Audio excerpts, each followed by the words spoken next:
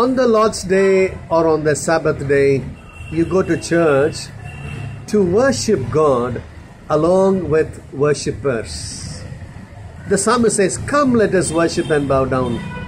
Let us kneel before our God, our Maker. Yes, the psalmist is a worshipper and he invites worshippers to join with him to worship the one true living God, worthy of all praise, worship, Lord, and honor. Never miss going to the house of God on the Lord's Day or on the, on the Sabbath day to worship God along with other worshippers. It's a wonderful experience. It's a corporate worship experience.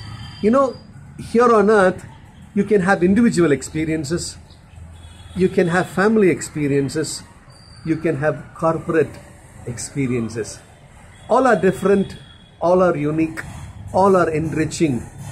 So, also, worshipping the Lord with worshippers is corporate worship, which is enriching, which is glorious, which can assure mighty miracles, signs, and wonders on the individual level, on the family level, and on the national level as well.